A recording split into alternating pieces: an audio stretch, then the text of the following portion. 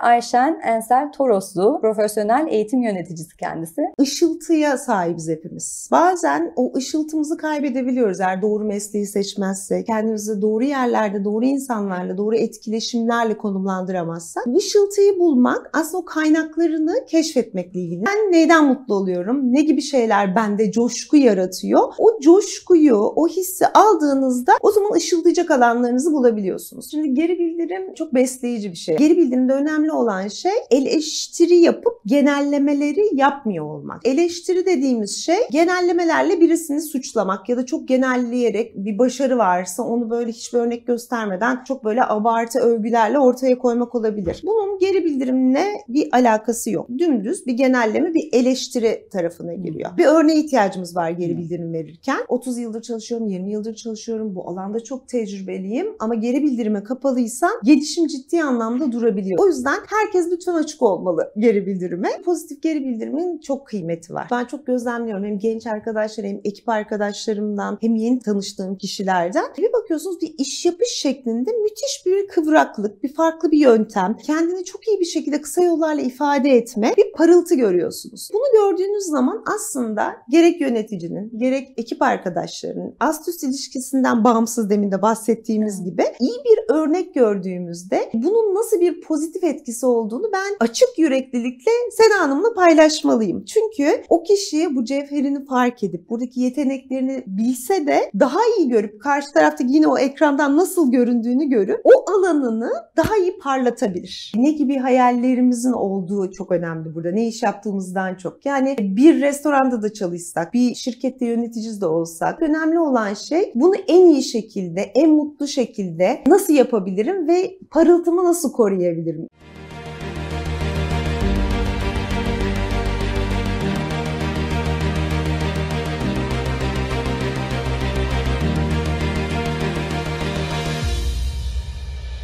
Üniversite TV ekranlarından herkese merhaba. Yeni bir Mesleki Gündem programıyla karşınızdayız.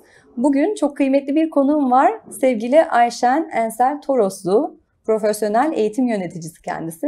Hoş geldiniz. Merhaba Sena Hanım, teşekkür ederim. Hoş bulduk. Nasılsınız? Çok sağ olun, çok mutluyum Üniversite TV'de olmaktan. Burada çok güzel bir enerjisi var. Çok... Ee, buraya gelmekten mutluyum o yüzden tekrardan. Söyleyeyim. Çok teşekkür ederiz. Hoş geldiniz. Safa getirdiniz. Biz de mutluyuz. Sizin gibi bir profesyoneli ağırlamaktan dolayı. Ayşen Hanım sizi tanıyabilir miyiz? Tabii e, yaklaşık olarak e, çok uzun yıllar aslında 21 yıldır fiilen e, tam zamanlı çalışma hayatının içerisindeyim. Ama tabii e, öğrencilikten başlayan bir süreç bu. Öğrenciyken de çok aktif olarak hani yarı zamanlı işler, biraz hayatı tanımak, iş hayatını anlamak, sektörleri fark etmek için birçok işlerde bulunmuştum. Bu 21 yıllık çalışma hayatının içerisinde tabii eğitim e, ve de iş geliştirme tarafıyla hemen başlamadım. Onun öncesinde işte satış, e, bazı ticari pazarlama, eğitimin ilk aşamalarından eğitim uzmanı olarak başlayıp adım adım e, tabii daha profesyonel eğitim yöneticiliği yolculuğuna doğru gittim. E, ve çok farklı sektörlerde çalıştım aslında. Lüks, kozmetik, premium markalar. E, onun dışında da birazcık da hani satış geliştirme, daha fazla e, yönetici koçluğuyla ilgili böyle bir eğitim alanlarında daha çok e, böyle bir kariyerim geçti. Genel olarak bir böyle bir özet verebilirim. Çok güzel. Ee, ben 18 yaşında ilk staj deneyimimle karşılaştığımda yöneticim e, ki sinema alanının, televizyon alanının çok dışında bir Hı-hı. alanda o da şey demişti. Önce masanın ayağı olursunuz. Sonra masanın başına oturursunuz. Değil mi? E, sizin de bu öğrencilik alanınız, ben de hani öğrenciyken bu işlere başlamış olmak, o alanı koklamak, alanı deneyimlemek bende bu hissi oluşturdu. Hmm. Ve sonunda masanın başı ve o masanın nasıl yöneticili, yani yönetileceği meselesinde artık bir profesyonellik süreci. Evet. Çok çok değerli söylediniz. Çünkü hani şeyi mutfağı bilmek çok önemli. Ondan sonra burada ne gibi zorluklar oluyor? E, nelerle mücadele ediyorum? Neyle karşılaştığımda nasıl tepkiler verdim? Ben bu hatalarımdan ne öğrendim? İyi şeylerim nelerdi ve ben buralarda nasıl kendimi keşfettim? Bu yolculukta onları öğrenip daha sonra tabii alanında profesyonelleşiyorsun. Şimdi siz 20 yıldan fazla süredir bu işi yaptığınızdan evet. bahsettiniz ve işinizi hani eğitim geliştirme alanında, iş eğitimini, işle ilgili e, deneyimleri geliştirme alanında olduğunu anlıyorum ve kurumlarda da eğitim faaliyetleri yürüttüğünüzü biliyoruz. Hı hı. Tür faaliyetler yapıyorsunuz? E, şimdi eğitim alanı çok geniş bir alan tabii. E, bir hani e, çalışan kişilerin gelişimiyle yönelik. Yani o kişisel gelişimi, e, nasıl bir şeyle mücadele edebilir, e, nasıl bir itiraz geldiğinde onu karşılanabilir gibi böyle çok geniş gelişim konuları olmasına rağmen bir de işin tabii ki hani ticari tarafında ürünle ilgili, bunu en doğru ben kendi tarzımla nasıl en doğru bir şekilde tüketiciyle buluşturabilirim gibi e, bütün bunları kapsayan eğitim projelerinde bulunuyorum doğal olarak. Bu arada hani 20 yıldan fazla iş çalışma hayatım var. Üniversitedeki çalışmaları da dahil edersek bir tık daha fazla ama 15 yıldır aktif olarak eğitim ve iş geliştirme alanındayım.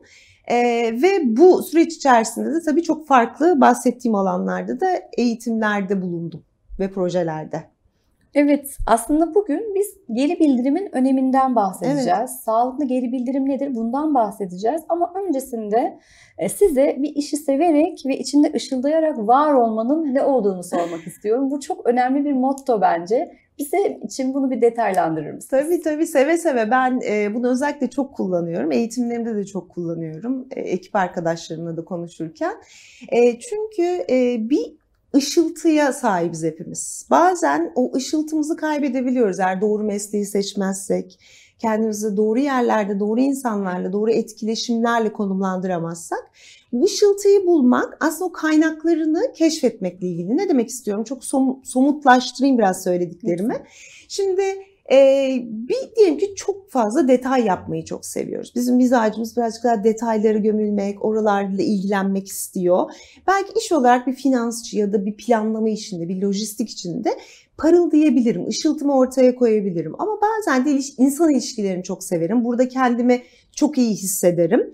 E, o zaman da e, ne yapmış oluyorum? Oradaki ışıltımı bu iletişim işinde olan işlerde gösterebiliyorum. Dolayısıyla önce kaynaklarımıza gitmek gerekiyor iş hayatında. Daha ilk özellikle mezun olan kişiler ya da hatta mezun olmadan önce meslekleri içerisinde oldukları sürede e, ben neyden mutlu oluyorum? Ne gibi şeyler bende coşku yaratıyor? O coşkuyu, o hissi aldığınızda o zaman ışıldayacak alanlarınızı bulabiliyorsunuz. Örnek verelim sinema alanı. Şimdi orada hani hep ilginizi çeken arkada neler oluyor, dışarıda neler yansıyor, ekranda ben ne görüyorum ama ekranın arkasında da başka bir hikaye var. Eğer bunlar içimizde bir kıpırtı yaratıyorsa, bize burada böyle bir derinleşme hissiyatı veriyorsa işte burası bizim ışıldayacağımız alan. Burayı bulduğumuzdaki hani biz koçluklarda da bunları hep konuşuyoruz. Ee, inanılmaz derecede başarı seni bulmaya başlıyor zaten. O yüzden mutlu olmanın sırrı biraz e, böyle her işe gittiğinde böyle bir kıpırdanarak gitme hissiyatı. Evet, işe kıpırdayarak gitmiyorsak, ayaklarımız geri geri gidiyorsa henüz cevherimizi keşfetmemiş olabiliriz diyor Ayşen Hanım bize evet. sanki. Kesinlikle. Doğru mu? Ve herkesin bir cevheri var. Ee, önemli olan bununla ilgili e, iç kaynaklarını sorgulayıp belki destek almak. E, o zaman çok çok daha keyifli bir yaşam oluyor. Yani işe gitmek eziyetten çok yaratımınızı desteklediğiniz, kendinizi bulduğunuz, iyi hissettiğiniz e, bir alan haline geliyor. Hepimizin yaşamında vardır işte. Üniversite hayatım çok güzeldi. İşte lisedeki arkadaşlıklarım eşsizdi. Neydi bunu böyle yapan? Çünkü oradaki paylaşımlar, enerjiler, o öğretmenlerin size verdikleri gibi gibi amaç biraz buralara gitmek iş hayatında. Evet. Şimdi bizim bugünkü konumuzun temeli dediğimiz gibi geri bildirim. Hı hı. Ee, ama şununla başlamak istiyorum. Eleştiriyle geri bildirim birbirine karıştırılan şeyler. Hani biraz önce içeride de işte birazcık sohbet ettik. O Yunanca'da eleştiri, kriterya dediğimiz şeyin biz bugün e, anlamını biliyoruz ki herhangi bir şeyin olumlu ya da olumsuz yanının öne çıkarılarak tartışmaya açılması demek. Halbuki biz eleştiri yalnızca olumsuzluk olarak an, anlıyor ve Hı. algılıyoruz. Oysa olumlu yanından bahsetmekte pekala eleştiriye dahil. Ama bir de geri bildirim var. E, bize ikisi arasındaki farkı söyleyerek sağlıklı geri bildirimin ne olduğunu açabilir misiniz? Tabii çok sevdiğim konulardan bir tanesi. Şimdi geri bildirim e, çok besleyici bir şey. Aslında geri besleme anlamı. Hani Türkçe'ye biz evet. feedback, geri bildirim diye besliyoruz geri besleme anlamında çevirebiliriz. Şimdi feedback'te önemli olan yani geri bildirimde önemli olan şey eleştiri yapıp genellemeleri yapmıyor olmak. Şimdi eleştiri dediğimiz şey nedir? E, genellemelerle birisini suçlamak ya da çok genelleyerek bir başarı varsa onu böyle hiçbir örnek göstermeden çok böyle abartı övgülerle ortaya koymak olabilir. Şimdi geri bildirimden hep negatif bir şeymiş gibi anlaşılıyor. Hani birisini eleştireceğim, gelişim alanıyla ilgili bir şey söyleyeceğim gibi. Ama aslında geri bildirim pozitif şeyleri de yapılabilir. Şimdi minicik bahsederim birazdan. Hı hı. Şimdi eleştiriyle karışmaması için eleştiri dediğimiz şey yargılar birazcık daha geniş söylemlerden oluşuyor. Örnek verelim. E, çok tembel olduğunu düşünüyorum. Çok sessiz olduğunu düşünüyorum iş hayatında. E, genel olarak iş yapış şeklini zayıf buluyorum diye mesela birisi söyledi bir ekip arkadaşın ya da yöneticin. Bunun geri bildirimle bir alakası yok. Bu dümdüz bir genelleme, bir eleştiri tarafına giriyor. Geri bildirim ne? Örneklerle sonuç, somutlaştırdığımız e, ve bu konuda da e, sen bir şey yapıyorsun, bir örnek veriyorsun. Diyorsun ki mesela açalım şeyi açalım. Seni çok sessiz buluyorum iş hayatında. İşte çok sessiz geri planda kalıyorsun diyelim toplantılarda. E, bunu örneklendirip vermek gerekiyor. Yani bir örneğe ihtiyacımız var geri bildirim verirken. O halde geri bildirimin bir yöntemi olduğunu anlıyoruz. Bir yöntemi varsa da aşamaları vardır illaki. Bize bundan bahsedin. Tabii hemen ondan bahsedeyim daha iyi oturur. Bir örnek, örnekten sonra bu etkisi ne bunun? Yani ben bir şey yapıyorum iyi ya da kötü ama bir şey sebep oluyor bu. O yüzden geri bildirim alıyorum. Ve bu etkiden sonra eğer bu yaptığım şey geliştirmem gereken bir konuysa nasıl değiştirebilirimin anlaşmasını yapmak Hı. gerekiyor geri bildirim veren ve alan kişiyle. Yine havada kaldı. Örnek üstünden gidelim. Demin verdiğim örnekten gidelim. Çok geri planda kalıyorsun. İşte kendini gösteremiyorsun gibi bir örnek var. Bununla ilgili örnek istemek lazım. Diyor ki işte geçen gün yaptığımız toplantıda seninle ilgili, senin uzmanlık alanına ilgili bir konu olmasına rağmen finansal rakamlarda sen bununla ilgili çıkıp bir açıklama yapmadın. Bu iki gün önceki toplantıdaki örnekte. Diğer bir örneğimde beş gün önce ekip içi yaptığımız toplantıda herkes e, yapacağımız e, toplantı hakkında fikir verirken sen geri planda kalıp bir şey söylemedin ve senin aslında fikirlerini gizlediğini ya da çok sessiz olduğunla ilgili bir takım örneklerdi bunlar. Etkiden şimdi bahsediyorum. Bu da senin e, kendini ifade edemeyen, arada bir hani sessiz kalarak e, fikrini söyleme cesareti olmayan biri gibi gözükmene sebep oluyor. Bu bir efekt, örnek. Evet. Yani etki. Bunu nasıl değiştirebiliriz? Sen bu konuda ne düşünüyorsun deyip geri bildirimini karşı kişiye vermek gerekiyor. Mesela bana çok olmuştur sağlıklı bir geri bildirimi örneklerle aldığımda aa demek ki karşı tarafta böyle bir etkiye sahip oluyor. Ben bunu halbuki bir efendilik sanıyordum sessiz olmayı ya da e, bu, bu konuda öyle görünmediğimi düşünüyordum gibi düşündüğüm şeylerin ne kadar farklı olduğunu gör, görüyorsun ve bu inanılmaz açılımlara sebep oluyor. Net miydi? Var mı? Nasıl, nasıl hissediyorsunuz bu örnekte? Daha örnek de verebiliriz. Evet bence netti. Ben de aklıma hemen iletişim bilimlerinden şu geldi. Hı hı. Hani ilk iletişim bilimleri konuşulurken işte e, şey var, e, anlatan var, dinleyen var, bir de ortada mesaj var. Tabii. Anlatanın ya da mesajı gönderenin her mesajı alana ilettiği şeyin o şekilde anlaşıldığı kabul ediliyor. İlk iletişim bilimlerinde işte Lazwell vesaire çalışıyor. Hı. Halbuki sonra fark ediliyor ki ortada gürültü denen bir şey var.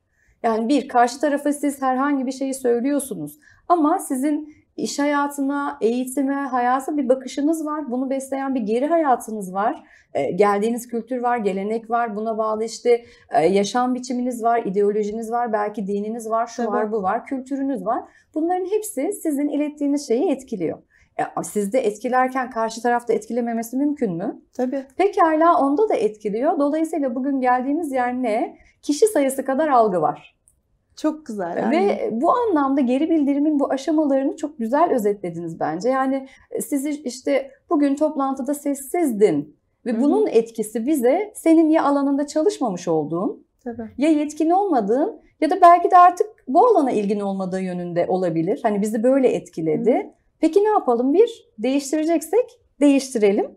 Ya da belki de bugün toplantıda harikaydın, buna devam edelim. Buna yani devam edelim. geliştirelim. Evet. Böyle mi anlıyoruz? Çok güzel, çok doğru anlıyoruz. Sonunda da bir, bir şey daha var. Ee, beraber anlaşmak, uzlaşmak gerekiyor. Yani geri bildirim alan kişi çok kötü hissediyorsa ve bu mesaj ona geçmediyse bu geri bildirim sağlıklı olmamış oluyor. Yani orada commitment denilen anlaşma kısmını yapmak gerekiyor. E, çünkü çok güzel, çok zenginleştirici bir şeydir geri bildirim almak. Yani o yaptığımız küçük o hisler, o etkilerin nasıl izlendiğini görürüz. Yani o karşı ekran bizi nasıl görüyor onu görürüz. E, ve bu da bize çok güzel gelişim imkanları sunar. O yüzden aha ben bunu aldım, kabul ettim. Çok teşekkür ederim demek de aslında çok önemli anlaşma çok kısmında. Güzel. Peki Ayşen Hanım, şimdi yaşamın, iş yaşamının kalbinin geri bildirim olduğunu anladık. Hı hı. Peki yöneticiler mi sadece geri bildirim verirler? Çalışanların geri bildirim biçimi nasıl olabilir? Çok çok güzel bir soru. Çünkü hep böyle anlaşılır değil mi? Geleneksel iş yapış şekillerinde e, ki artık değişiyor da yani iş yapış şekilleri çok değişiyor. Onu bir ayrı bir şekilde konuşmak gerekir. Evet. Değil mi? O gelenekselcilik, o hiyerarşinin nasıl okunduğu ile ilgili vesaire. Şimdi burada her zaman yönetici geri bildirim vermez. Geri bildirim herkese açıktır. Bir kere bu burada asla böyle bir hiyerarşi yoktur. Diyelim ki yeni gelmiş bir stajyer. Çok deneyimli bir birim yöneticisi var ve birim yöneticisi yılların getirdiği alışkanlıklarla bazı paternleri, bazı şeyleri tekrar ediyor ve yanlış şekilde diyelim ki ortamı çok geriyor, işte ne bileyim e, ekibini motive etmek yerine çok böyle direktif konuşuyor, orada rahatsız edici bir ortam var. Diyelim ki öyle bir ortamın içerisindeyiz. Oradaki stajyer e, belli bir ortamda diyelim ki ona bir söz hakkı geldi. Ya burada geri bildirim birebir yapılır. Onu belirtmek lazım. Bir toplantıda pat diye ben sana bir geri bildirim vereyim deyip bir insanı da rencide etmemek gerekir. Bunu da belirtelim. Çok önemli bir detaydı bu. evet. Diyelim ki bir, bir şey oldu. Bir çay bir şey içiyorlar o birim yöneticisiyle. Dedi ki cesur bir şekilde e, Ali Bey sizinle bir şey söyleyebilir miyim? Bir gözlemim var. Çok yeniyim. E, ben böyle sizin birazcık hani birkaç örneğim var elimde. İşte geçen gün işte diyelim ki bir toplantıya giriyorduk. Ekip çok heyecanlıydı. E, siz böyle sesinizi yükselterek insanların daha da dolaşmasına sebep oldu eline ayağına. Ben tamam şu anda kurguluyorum. E, bu benim çok dikkatimi çekti. Burada e, demotive olduklarını gördüm. E, ve bu anlamda ben de merak ediyorum siz bu yöntemi niye seçtiniz? Siz böyle yaptığınızı düşünüyor musunuz? Niçin böyle yapıyorsunuz? deyip mesela bir mentorluk almak istiyor gibi geri bildirim de verebilir. Ve o zaman o kişi de nerede sıkıştığını anlayabilir tecrübesinden bağımsız. Bu öyle bir şey oluyor. Mesela hani 30 yıldır çalışıyorum, 20 yıldır çalışıyorum. Bu alanda çok tecrübeliyim ama geri bildirime kapalıysan gelişim ciddi anlamda durabiliyor Sena Hanım. Yani bu o yüzden Herkes lütfen açık olmalı geri bildirime. Bunu iş hayatı için düşünmeyelim ama sadece. Evet şimdi siz söyledikçe ben evet. diyorum ki aslında iş hayatının kalbi diyoruz ama geri bildirim bence yaşamın her, her alanının yani özel ilişkilerden evet. genel ilişkilere kadar işte eğitimden akademiye sağlığa kadar her alanın belki de kalbi diyebiliriz. Doktor hasta ilişkisinde de çok kıymetli belki de bu.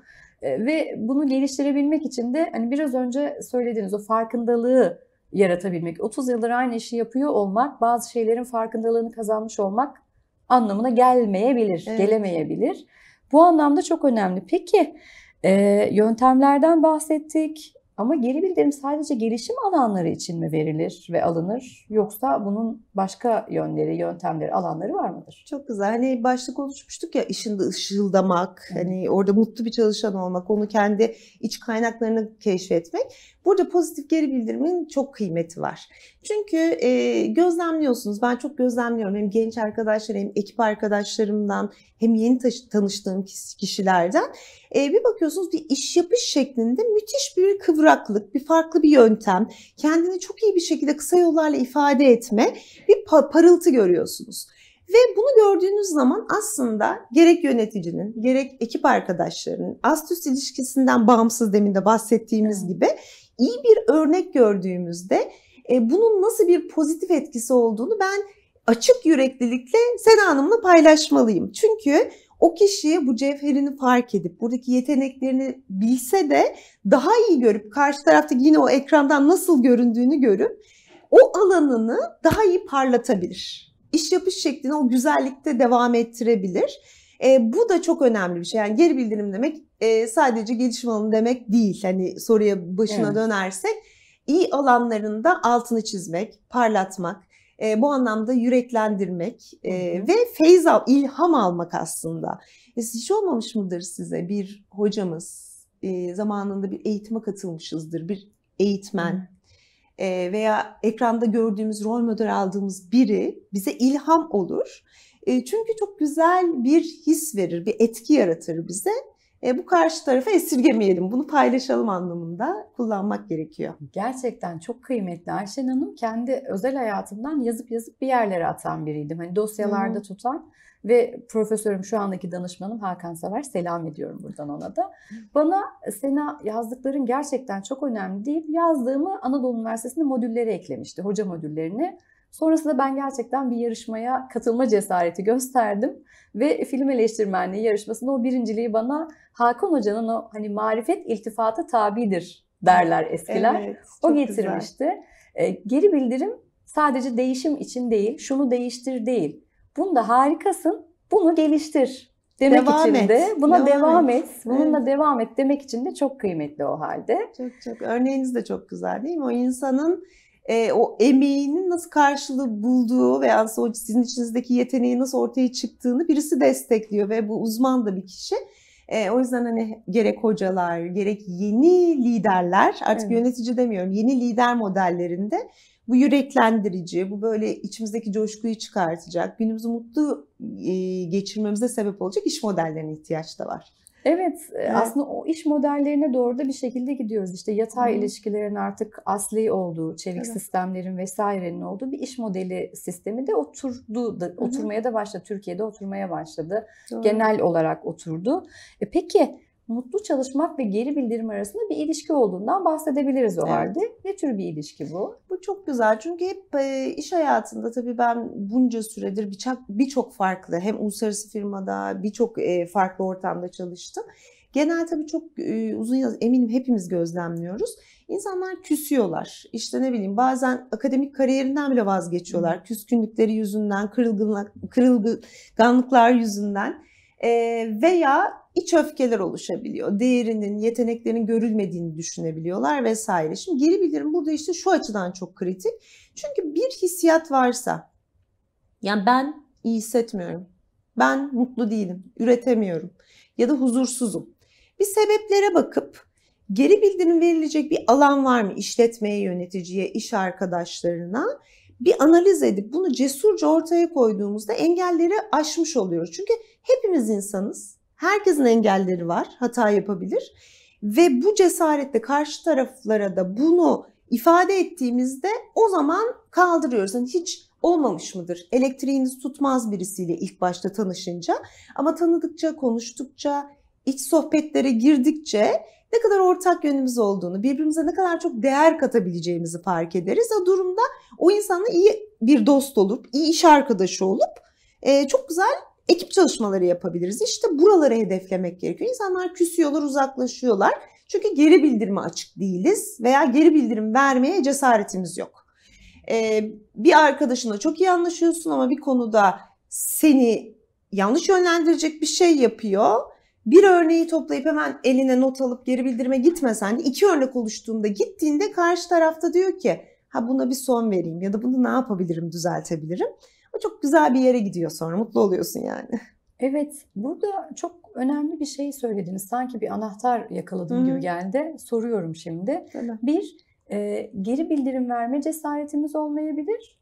İki, e, geri bildirimin yöntemiyle ilgili problemlerimiz olabilir. Evet. Peki bunların aşılması nasıl sağlanabilir? E, geri bildirimi hani profesyonel eğitimin eğitimcinin belki de e, alanı tam da burası. Evet doğru. Ortaya çıktığı yer burası. Burada neler yapıyorsunuz peki? Şimdi burası çok önemli Sena Hanım. Çünkü e, hani şimdi biz burada konuşuyoruz bu kısıtlı süre içerisinde nasıl önemli olduğunu etkilerinden konuşuyoruz ama bazı şeylerin de yöntemini bir sindirmek gerekiyor. Bunun için de uygulamak gerekiyor. Yani bu dediğimiz eleştiriyle karışma konu, e, durumundan ayrıştırmak için öncelikli olarak bunun bir yöntemi var. Yani hep böyle kısaltmalar kullanılır. İşte İngilizce bir şeylerin baş harfi kullanılır ya da bir metot verilir. Ondan sonra o formül üstüne geri bildirim vermeye çalışırsın ama her şeyden öte ben şunu söyleyebilirim. Hani o eğitimlerle birlikte bir güçlenmek lazım. Hani bu iş nasıl yapılıyor bir anlamak lazım. Ama sonrasında da hep o duygusal zekayı, içsel e, durumu dinleyip E, burada bir şey var ve ben bunu bir ferahlatmam lazım güdüsüyle gidip örneklerle çözmeye çalıştığımızda öğreniyorsun otomatikman. Yani örneklere ihtiyacımız var. Bol bol yapmaya ihtiyacımız var. E, onu önerebilirim ama önce tabii ki bir kaynak araştırmak gerekiyor. Yani işte mesela e, iyi bir eğitmen nasıl olunur? Hani gidip iyi hitabet yapabilen bir kişi değil. Hani nasıl girdi tüm kitleyi, nasıl kapsadı, e, nasıl e, aralarda interaktif bir takım şeyler yaptı, düşürmedi ortamı. Mesela bunlar bir takım yetkinlikler.